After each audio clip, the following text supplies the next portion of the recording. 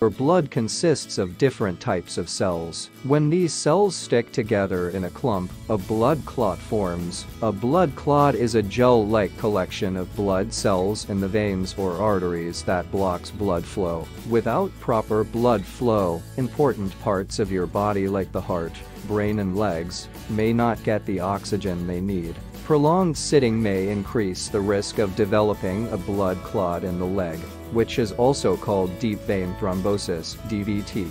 If a clot breaks free from the spot where it formed, it may cause a potentially life-threatening condition known as pulmonary embolism. When the clot travels through blood vessels and enters the lung.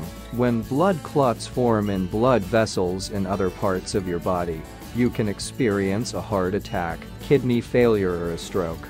If you notice signs that you may have DVT, seeing a doctor quickly may help you avoid dangerous complications. Blood clots can be a serious medical condition, and it's essential to be aware of the warning signs. Common warning signs of blood clots include swelling, unexplained swelling, especially in one limb or extremity, can be a sign of a blood clot pain or tenderness, the affected area may become painful or tender to the touch. Redness or discoloration, skin may appear red or have a bluish or purplish hue.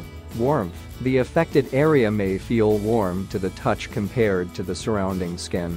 Vein enlargement, in the case of deep vein thrombosis, DVT, the affected vein may become larger and more prominent. Skin changes, skin may feel tight or dry, and you might notice a change in its texture. Cough or shortness of breath. A blood clot in the lungs, pulmonary embolism, can cause symptoms like sudden shortness of breath, chest pain, and coughing up blood. Chest pain, chest pain, which may worsen with deep breaths or coughing, can be a sign of a pulmonary embolism. Rapid heartbeat.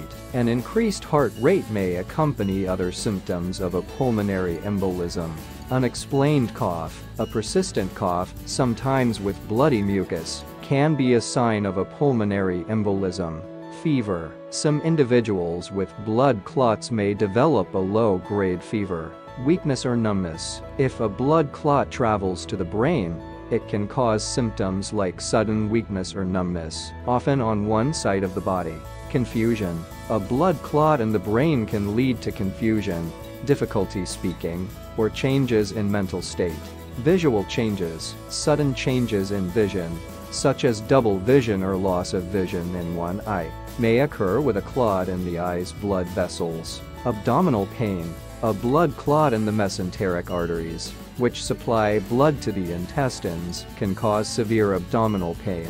If you experience any of these symptoms, especially if they are sudden and severe, seek medical attention immediately. Blood clots can be life-threatening, but they are often treatable if diagnosed and addressed promptly. However, keep in mind that these symptoms can be caused by various medical conditions, so it's essential to consult a healthcare professional for an accurate diagnosis and appropriate treatment. Hope you liked the video and thanks for watching. Please don't forget to like subscribe and support our channel Miss Healthy.